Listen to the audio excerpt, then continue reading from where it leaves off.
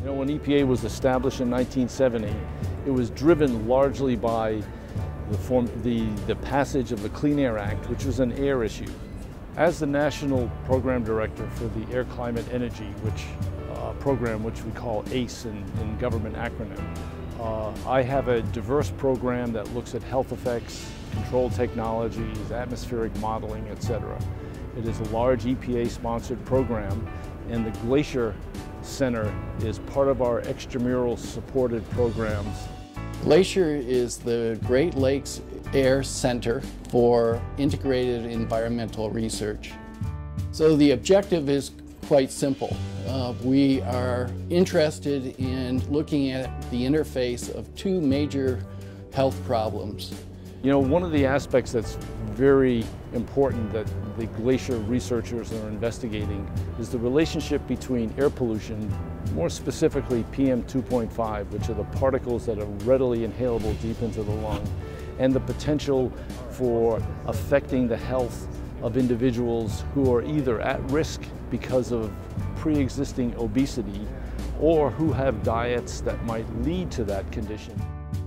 We are looking at air pollution having effect of exacerbating the metabolic syndrome or the diabetes or the pre-diabetes syndrome. And we, that hypothesis, we, through animal studies and through human health studies, we have found that that is the case.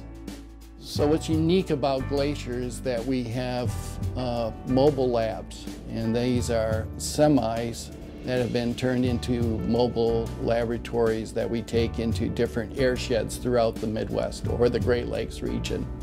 A mobile lab that we use, one for coarse particle exposures and one for fine particles, is entirely unique in the world. And without it, um, the whole type of research could not be performed. It being mobile allows us to move the facility relatively uh, easily to different locations.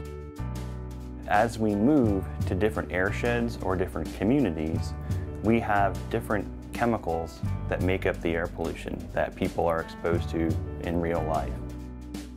So we're able to take our mobile laboratories to specific airsheds, whether we have uh, transported aerosols, whether we have uh, urban emissions, we're able to characterize these in a real world environment that people are exposed to in that instant, on that day that we're doing a study within the community, are the same pollutants that are being brought into through our inlet, our mobile lab, and into the exposure chambers where we have either human subjects or animals. We have a lot of continuous monitoring that's conducted, so we have data points that are recording pollutant levels in real time. We also have uh, other filters that are collecting integrated samples of the exposure for each of the studies and then those samples get archived, are taken back to the laboratory. So after our field studies conducted, we're able to do analysis on the filters in our laboratory at the University of Michigan. Since the early 1970s, the air pollution levels have fallen quite dramatically and they continue, they have continued to do so over the last decade. In, in conjunction with that, we've seen a reduction in mortality in direct relation to the amount that air pollution has been reduced. So uh, we need to continue to show that these air pollution regulations we have are have been effective, are effective, and should continue at what level they are now, and that uh, lessening them or loosening them is not a wise strategy for public health. All of the gains that have been made since the Clean Air Act have been driven by health studies and the regulatory process. So every five years we have to do that evaluation. To do that evaluation we need data, we need science. And the kind of work that, that the, uh, uh, the Glacier folks are doing was unimaginable 20 years ago. One of the end goals of the overall Glacier Center is to be able to use our findings from doing these, conducting these studies in the different airsheds to help inform both the local and state as well as federal policy and decision makers.